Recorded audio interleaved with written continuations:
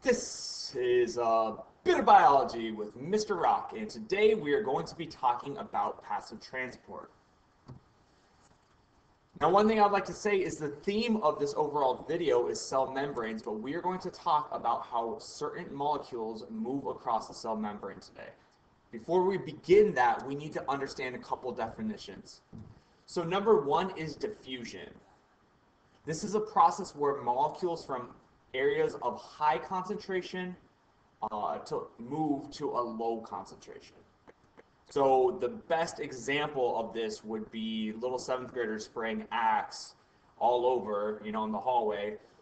They spray it, and there's initially a high concentration, but those little Axe molecules are going to move and spread out until that it's evenly distributed.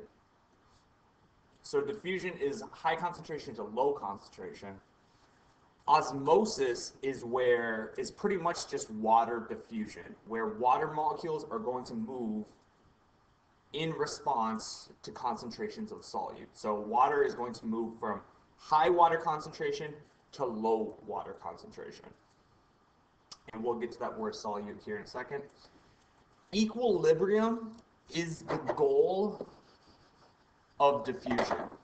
So molecules are going to move until they are at an equilibrium, which means there's an equal concentration of molecules on both sides or in the system.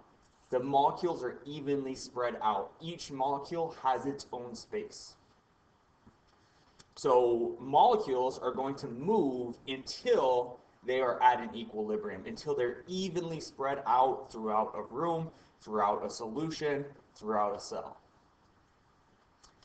And then finally, the last word here is solute. You guys haven't seen this word yet, but it is a substance that is dissolved into a solution. So really, this could be salt, this could be sugars, this could be proteins. Um, this is anything that dissolves into a solution, which is like a liquid. So here we just have a couple different examples of diffusion. Um, with the one with the blue dye moving. Uh, you put the blue dye molecules in. They start off at a very high concentration. It's a very high concentration. They slowly spread out. And then eventually the whole entire glass tube is going to get turned to like a light blue color. It's originally a dark blue color, but then it's going to spread out evenly till it reaches an equilibrium. So like I said at the beginning, this whole video is devoted to cell membranes and the idea of passive transport. One key idea that I need you to remember from the previous video, cell membrane structure, is that cell membranes are selectively permeable. So that means they let some things through because of their size, because they're small enough, but then other things they keep out. So passive transport is the idea that molecules are going to move across the cell membrane.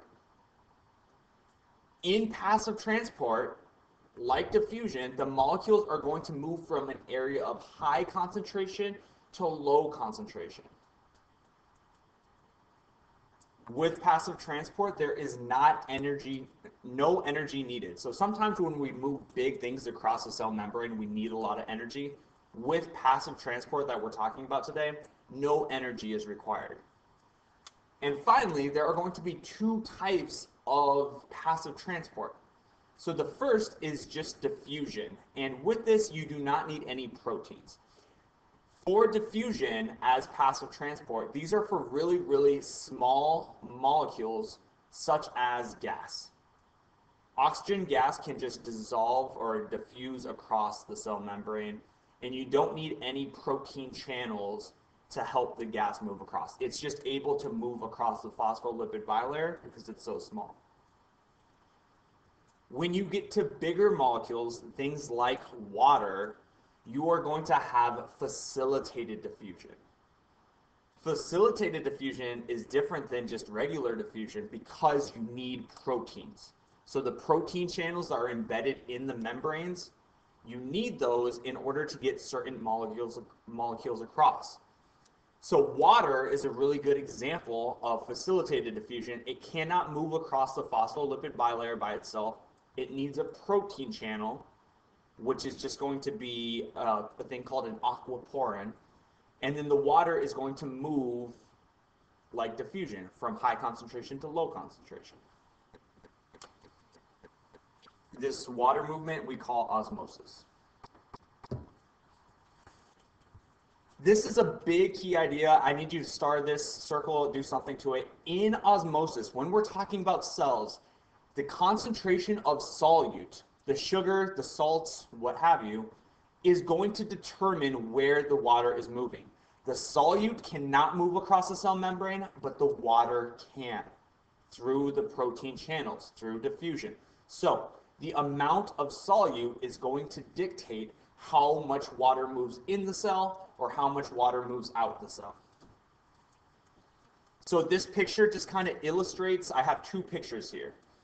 In this picture, because you're going to see this a lot in the problems, the green bubbles are going to equal the solute, which is the salt molecule. So here, I have a, we could just call it a glass beaker and then a cell on the inside of the glass beaker.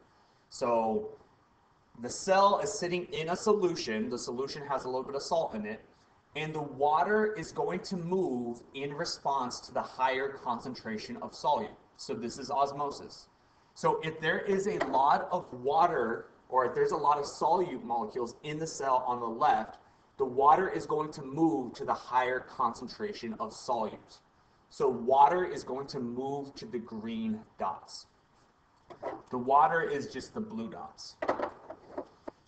The picture on the right now is the opposite situation where there's a lot of water molecules inside of the cell and there's a lot of solute on the outside of the cell. So water is going to move to the higher concentration of solute. So water is going to move out of the cell and into the solution.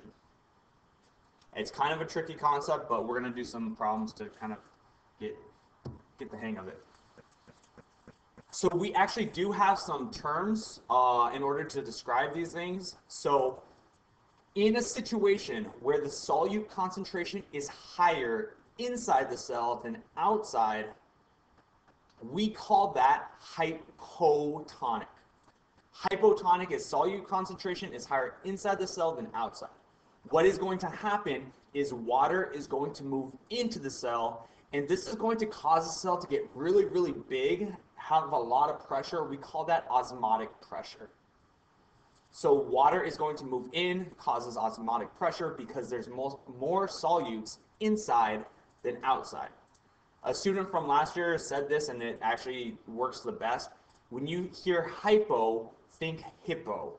Hippos are really big and large and when a cell is hypotonic, it is going to get really big and large because there's more solutes on the inside than outside. The opposite situation is called hypertonic. Hypertonic is when the solute concentration is higher outside of the cell than inside.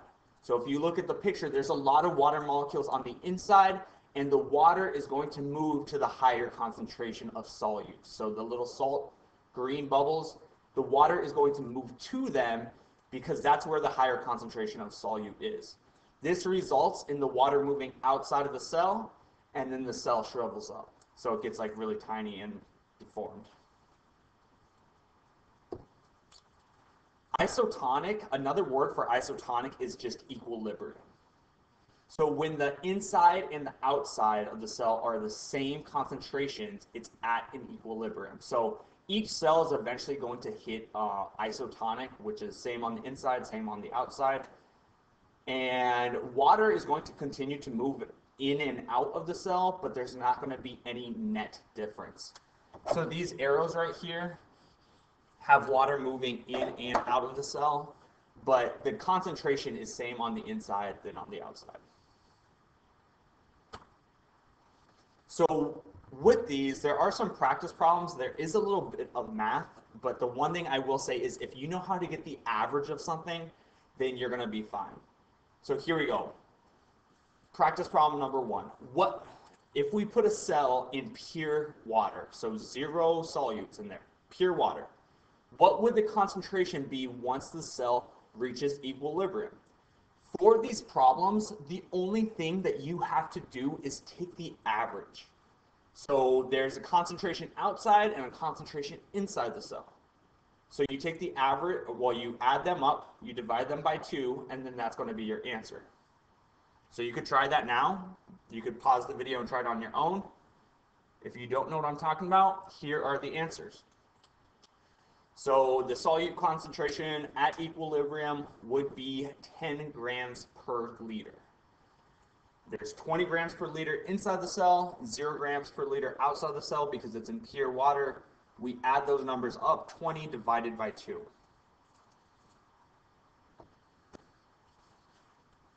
If you're starting to get the hang of this, you could try this one on your own. What would the concentration be once the cell becomes isotonic? Last problem, I said equilibrium. This problem, I'm saying isotonic. Those words mean the same thing. So if you want to try it on your own, you take the average and you try to find out what the equilibrium concentration would be. Pause the video.